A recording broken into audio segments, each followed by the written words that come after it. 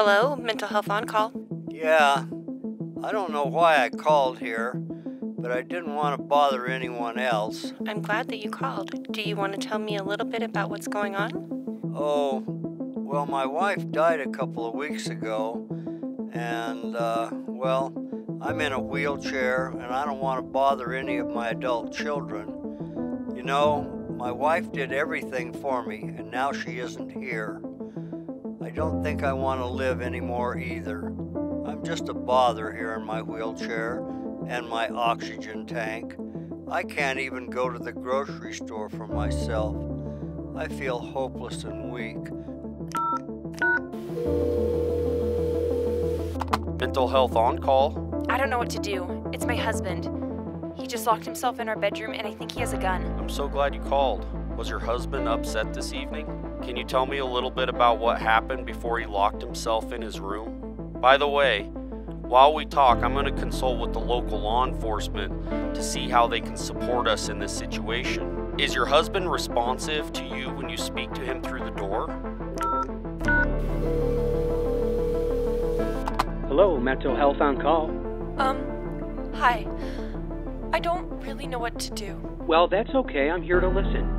Do you want to tell me a little bit about yourself and what you're going through right now? Well, I'm having another really bad night. Hmm. Well, what made your night bad? Well, I don't know. I just sometimes feel like I don't want to be here anymore.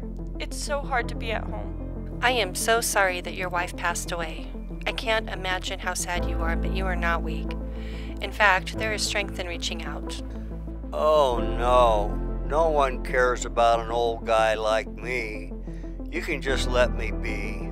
Would you be willing to let me help you and take you to Wallowa Memorial Hospital to get checked out? I can also bring you some groceries. Would that be all right? He's really not responding at all, but I can hear him moving around in there. Also, he's been really upset lately.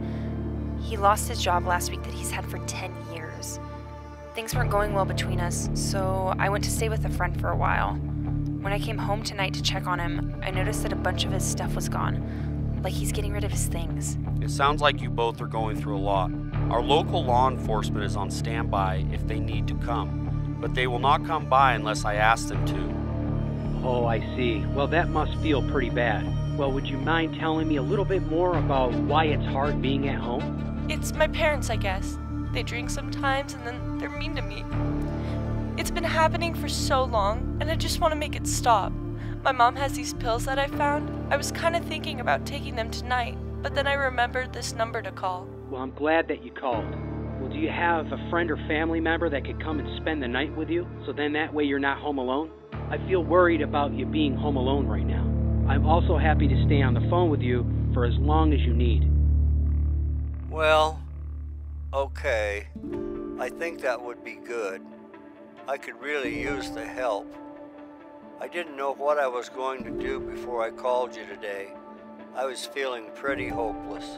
I care about you, and I would really like to come help you. I can be there in about 10 minutes, and we can go to the hospital together, and I can bring you some food. I'm here to stay on the phone for as long as it takes to get you and your husband feeling better tonight. Will you gently knock on the door to see if he's willing to talk to me on the phone? Please tell him that I'm here to listen. Okay. He said that he'd talk to you. I'm gonna hand him the phone. I am so relieved. Thank you so much for helping us tonight. Well, I'm so glad you called. We're always here to listen. Yeah, I have a friend who I can invite over. I think I would also really like if we could stay on the phone and talk for a while. I felt really scared tonight until I started talking to you. Well, it took a lot of courage to make this call and reach out. You did a great job.